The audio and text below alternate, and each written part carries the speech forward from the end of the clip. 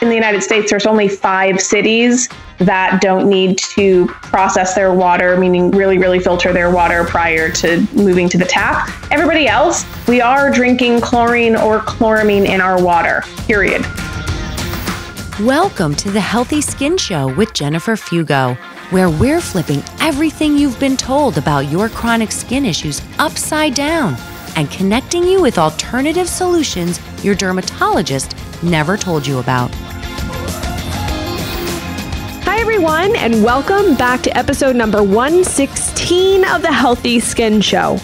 In today's episode, we're going to talk all about how toxins found in water could be part of what's impacting your skin. But before we dive into that conversation, I want to give a shout out to one of our listeners. Akaretka shared a really awesome review over on iTunes, which I deeply appreciate, describing the show as vital to our healing journey. Quote, I absolutely love this podcast. I find the interviews and information succinct, informative, and above all, useful. It's a relief and a blessing to have come across such a great show, the information from which I can directly incorporate into my son's healing journey. Thank you for the podcast and also for the annual summits. End quote.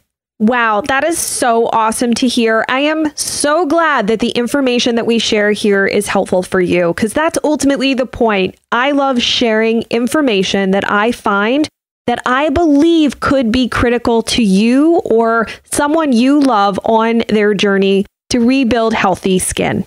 Now, since today's interview went a bit on the long side, I want to hop right into things. Hi, everyone. Welcome back. I've got a great guest with me today. Some of you may remember her from the 2019 Eczema and Psoriasis Awareness Week. We're going to dive into this whole issue about chlorine in your water. Can it be harmful or um, just detrimental to your skin. Got a lot of things to talk about. My guest today is Lara Adler. She's an environmental toxins expert and educator and a certified health coach who teaches nutritionists, nurses, and other holistic practitioners how to eliminate the number one thing holding their clients back from the results they are seeking the unaddressed link between chemicals and chronic health problems. She trains practitioners to become experts in everyday toxic exposures so they can improve client outcomes without spending hundreds of hours researching on their own. Combining environmental health education and business consulting, she's helped thousands of health professionals in over 25 countries around the world elevate their skill set, improve client outcomes, and become sought out leaders in the growing environmental health and detoxification fields. Lara, thank you for joining us.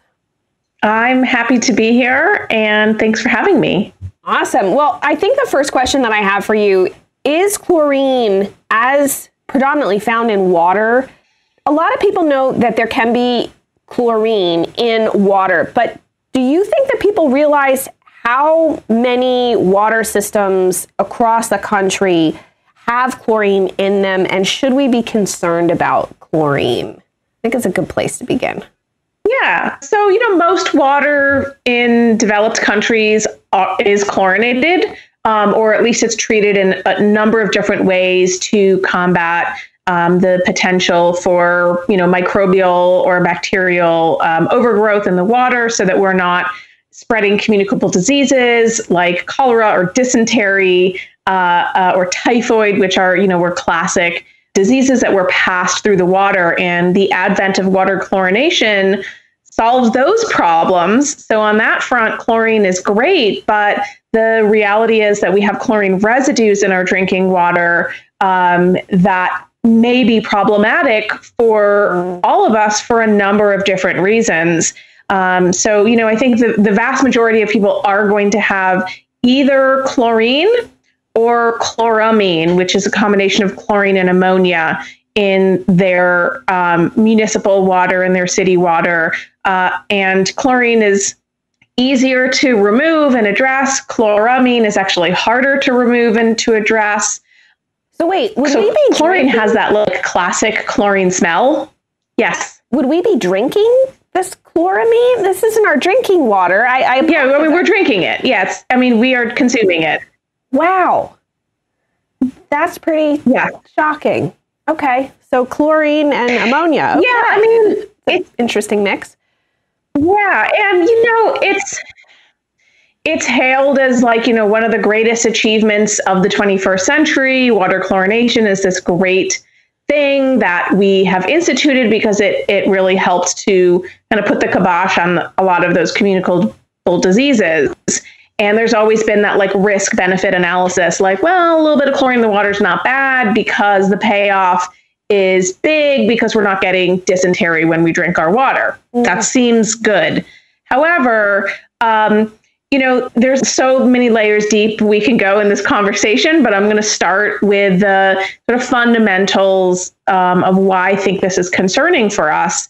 Is you know whether we're drinking the water or bathing in it. So, like for example, showering. Mm-hmm. Um, if our water has chlorine in it, then we're showering in chlorine. Not the same amount that you'll find in a swimming pool, but um, some studies have found that about 50% of our daily chlorine intake actually comes from the shower. It's not what we're drinking. So, chlorine is a volatile gas that volatilizes in the steam, hot steam of the shower. So, we're breathing it in, and it's really easily absorbed through our skin. Now, for people that are maybe competitive swimmers or they're just swimming as their form of exercise, they very often have um, skin issues mm-hmm. because of the amount of time that they spend in the chlorine. And part of that comes from the fact that chlorine is stripping all of those really beneficial natural oils that help protect our skin. Um, the chlorine is actually stripping that away. So, the my gosh, because the chlorine in where I live, for example, or I should say the water where I live, smells so heavily of chlorine, I can't even bear to drink the water unless I put it through my Berkey style countertop filter thing because it's so nauseating, the odor. And so you're saying it doesn't even matter about drinking that water. Literally, the act of showering, because between the heat and everything, you're then absorbing it through your skin more so in the shower than even drinking it potentially. Yeah, I mean, it's, I don't know about more, so maybe it's about 50 50, but, wow. you know, eh, like I said, 50% of our intake is coming from the few minutes that we spend in the shower. Okay. And then the rest is coming from, you know, the, the foods uh, and water, primarily the water that we're drinking. Yeah. Um, you know, and, and there's, again there's it's this balance between like okay chlorination has solved other problems but it's also causing problems so one of those problems like i mentioned is you know it certainly can lead to skin issues and exacerbation of existing skin issues because it's stripping that um, uh, natural oil layer in our skin from our skin but um, it can also disrupt the natural microbiome of our skin. Like, and what's fascinating to me, and I was just reading this recently, is that different parts of our skin, like the skin on our scalp, is different than the skin, the microbiome um, profile of the skin on our scalp is different than the skin under our arms, that's different than our feet. And if we think about the purpose of water chlorination, it's to kill bacteria. That's why it's mm-hmm. there.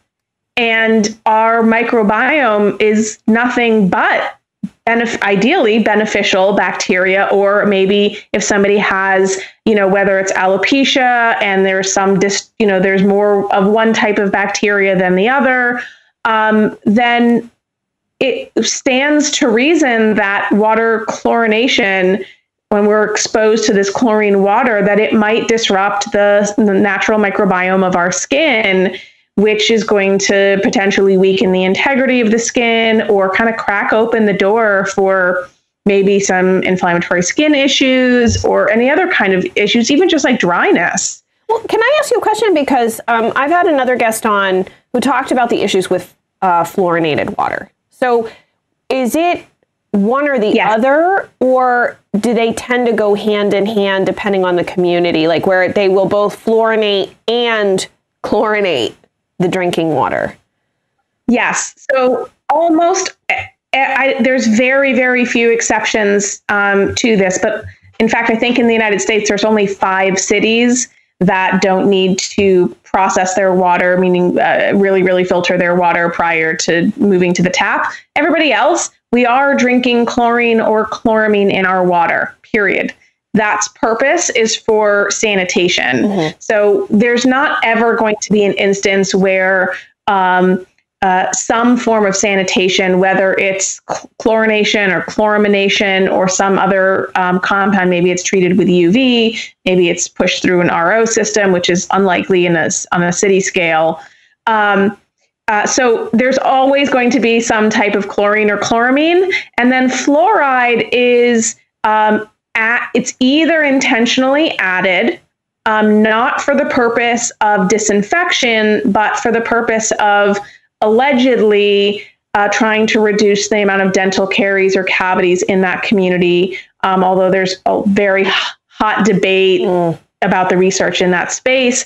Um, even if a city doesn't intentionally add fluoride chemicals to the drinking water, there may be naturally present fluoride if the geography of where you live happens to be rich in fluorine elements in in the Earth's crust in that area. Um, but it's also worth noting, and maybe this is a whole nother topic, is that the you know when we think about fluoride in our toothpaste, it's sodium fluoride. Um, sodium fluoride is not what's added to municipal drinking water. It's a chemical called sodium fluorosilicic acid or fluorosilicic acid. And it is a byproduct of the aluminum industry it is a, a toxic waste. It is not the same thing that dentists are using in the dental office. But fluoride, any fluor- fluorinated compound, as well as any chlorinated compound, as well as any brominated compound, um, they're all halogenated chemicals. So if we go back to chemistry class and we look at the periodic table of elements, they're all in the halogen column uh, along with iodine. And we know that iodine is really necessary for the health of the thyroid. And what happens is any compounds that are chlorinated, fluorinated, or brominated will displace iodine in the thyroid. And so they can lead to all of these um, health effects that are associated with um, suppressed thyroid function or lowered thyroid function or just not not fully functional thyroid um, system.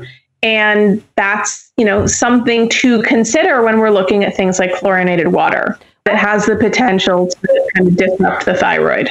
So as far as chlorinated water is concerned, you know, one question that I frequently get is is it safe? So say someone has eczema, is it safe for me to go in a pool? Like if I'm going to be exposed to this chlorine, is this potentially going to flare my eczema? So is that so you're saying that the concentration of chlor chlorine or chlora whatever the other chemical is chloramine is a lot is a lot would be less than what's in a chlorinated pool so if you go yes. in a pool you're going to be exposed to a much like what is do you know what the difference is between like tap water versus like a recall, pool no, I don't recall. You know, I was just actually listening because I'm a nerd. I listen to podcasts on stuff like this. I was listening to a podcast on pool um, chlorination because that's interesting to a very small group of people. Um, but uh, you know, it, it, what's really interesting is if you're in a, a, you know a pool that's part of a school or a community center or YMCA or whatever. Um, those type of more commercial pool systems do actually have uh, devices that measure the parts per million of chlorine in the water and will adjust the sort of dosing of the pool with more chlorine accordingly so that it stays within um, a specific range. But when people have backyard pools, they typically don't have that's those same sort of more expensive devices to measure the chlorine levels. So, you know, people with backyard pools may very well have way higher levels of chlorine than they would if they went to the city or town's, you know, local swimming swimming pool. You so could, you could obviously ask the local pool then what the level of chlorine is that they're they're going by.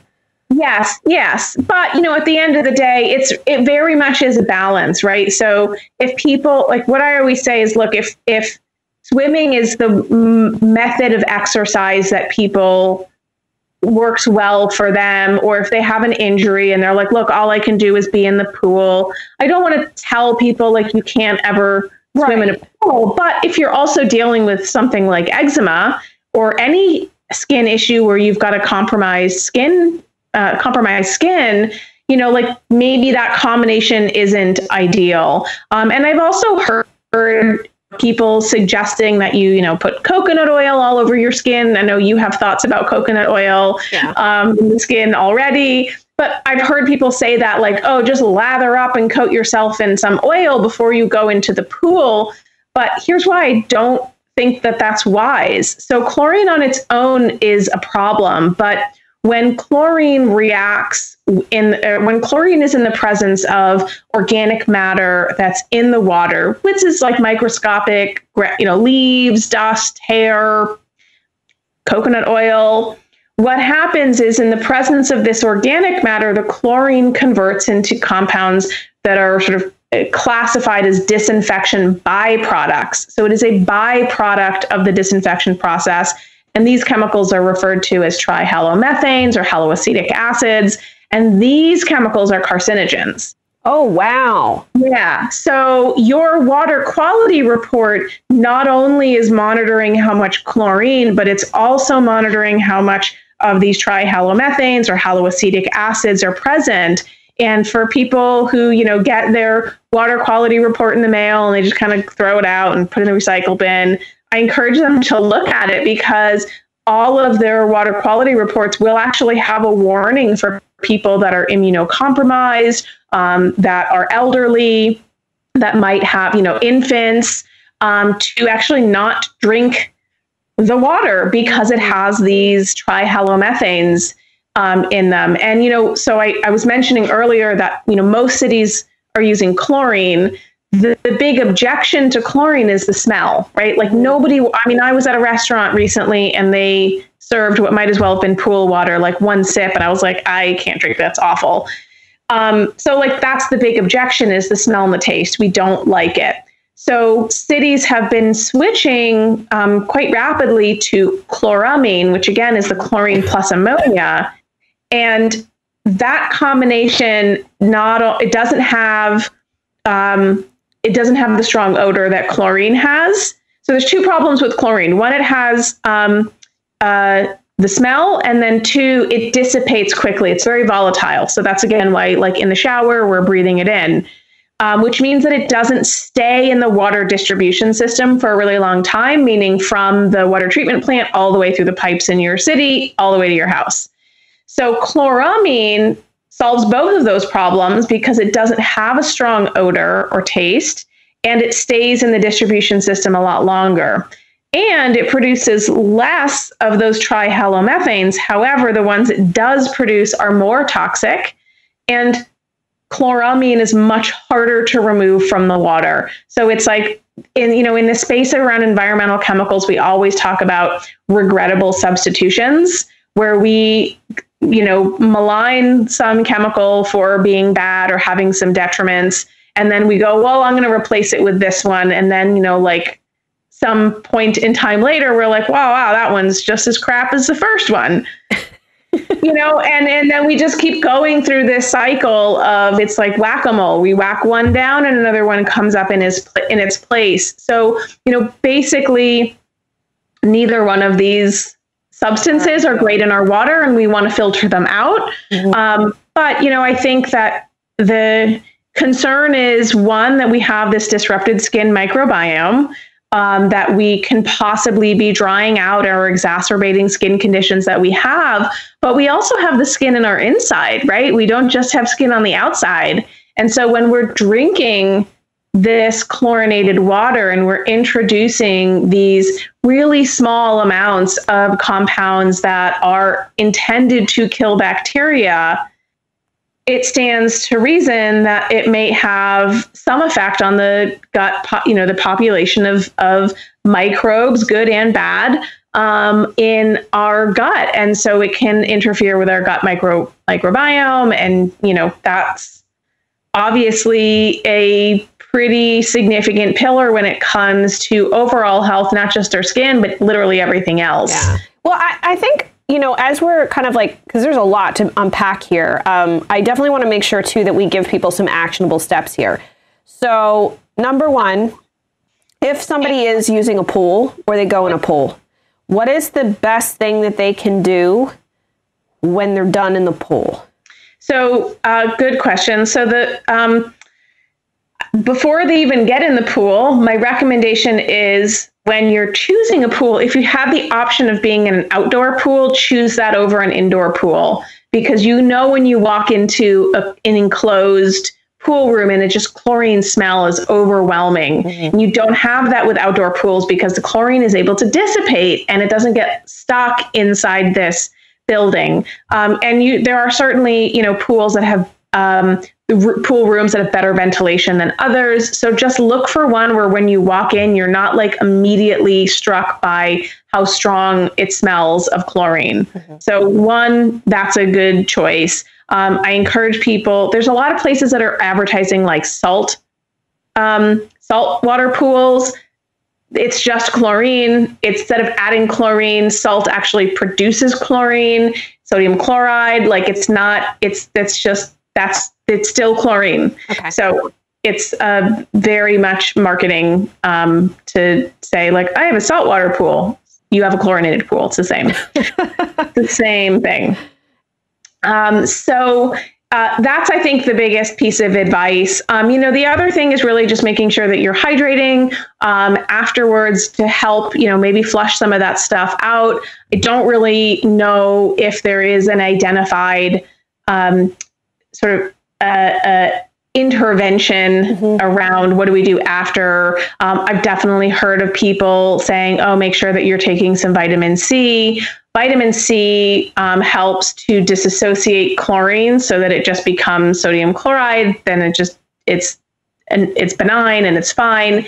Um, that works in a glass of water. It might work in a bathtub. I don't know if that actually works inside the human body. And what about rinsing off after you get out of a pool? Is that a good idea? Do it. Do it. Okay. Yes, 100%. Okay. I mean, look, you know, it's, and you know, like when you go someplace and the, there's a ton of chlorine and you come home and your hair and your skin stinks of chlorine, your clothes stink of chlorine. Like you, we want to wash this stuff off mm-hmm. um, as much as possible. It is still going to absorb while we're in the water. And I don't know if there's any real interventions that we can do to prevent that absorption. I think we just want to make sure that, you know, we're we're getting it out. And I think, you know, sauna certainly wouldn't hurt. If you're at a gym that has a pool and a sauna, great. Do your laps and then get into the shower off, get into the sauna. Maybe you can sweat some of that stuff out that you have absorbed. Um, because that's really one of the things that sauna is great for is helping um, excrete the toxins that are sitting in our subcutaneous fat. Um, and if we're absorbing things through our skin, we should be able to excrete things through our skin. And then I think the one last question, because this really has to do with more showering, because we've talked a bit about that and this whole issue of like, you're in the shower, what do you do? Is there a shower head or a filtration system for the shower head that you could get that you found is helpful? Yeah, I mean, so there's uh, if people don't have the ability or means to have a whole house water filtration system, you know, if you're a renter or if you don't have the budget for it, fine. That's obviously ideal because then you can remove the chlorine from the source and you don't actually have to worry about anything in your shower, which is wonderful.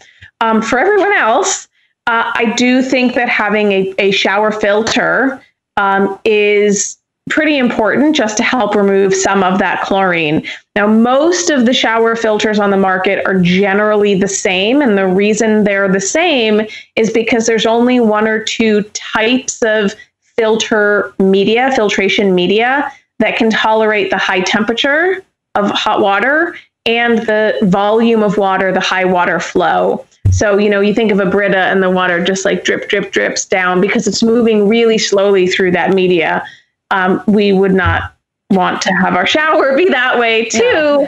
So it has to go really fast. And the faster the water goes through the media, the less um, it's going to be able to actually remove, the media is actually going to be able to remove anything. So shower filters are going to be activated charcoal. Um, they might have a material called KDF. Um, which are pretty standard to have those in combination. They're all pretty much the same. They're all about you know fifty to eighty dollars. Um, just look for those compounds. You can also find vitamin C filters. So I was talking earlier about vitamin C.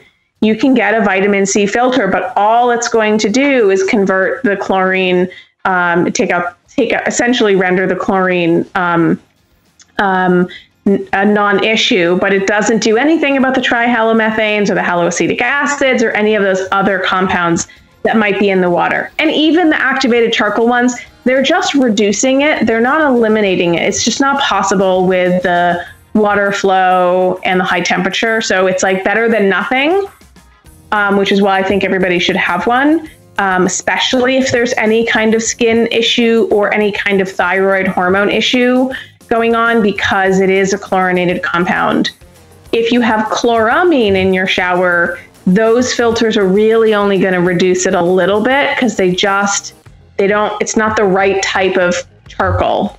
So, with the best thing to do is go back to your water company, get the most recent report, and yep. find out what is actually in the water, so you can address that appropriately. Yeah, mean, and that's really easy to do. You can just Google like the name of your town or city and the words water quality report. It's also called a consumer confidence report. Um, and your municipality is required by law to produce these every year. They usually are released about June, July, August. Some are just like a white paper with a bunch of figures on it. Others are like these really beautifully designed brochures with pictures of reservoirs and people drinking water. Um, that all depends on the budget of the town or city in which you live. Um, but they will tell you whether or not there is chlorine or chloramine. Perfect. Perfect. Well, I feel like we have so much to talk about on like the topic of toxins in general. Yeah. I'd love to have you back some other time because I feel like we could only we could only cram so much into this. That said, for everybody who's listening, you definitely need to go to Lara's site, uh, laraadler.com. She's also got a great Instagram page as well, which I'll link everything up there. And you've got a really nice gift for everybody, which when I saw it, I was like, oh my gosh, this is amazing. And it's a, it's totally free to download. Um, we'll put the links for all of that. It's your, your, top 10 toxins, right, to be on the lookout for. It was really incredible yeah. when I took a look at it. I was like, wow, this is this is fantastic. I learned a ton from it. So I think it'd be a great place for everybody uh, listening to, to to dive into. And of course, Lara, we're gonna have you back. Got to do it. I really appreciate your time. Thank you so much for joining us. Such an eye-opening conversation. Am I right? I'm so glad that Lara was willing to come here and share this information with you guys. She knows a ton about toxins and toxic exposures. So we'll have to have her come back to talk a lot more about toxins and how that can impact your skin. If you have any questions or comments, head on over to skinterrupt.com forward slash 116 in order to leave your comments, thoughts, and questions so that we can keep the conversation going.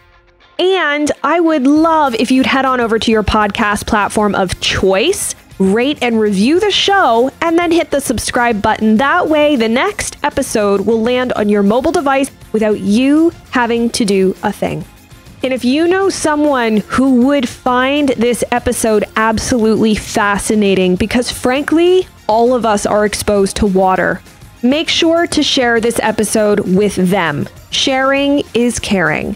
Thank you so much for tuning in, and I look forward to seeing you in the next episode.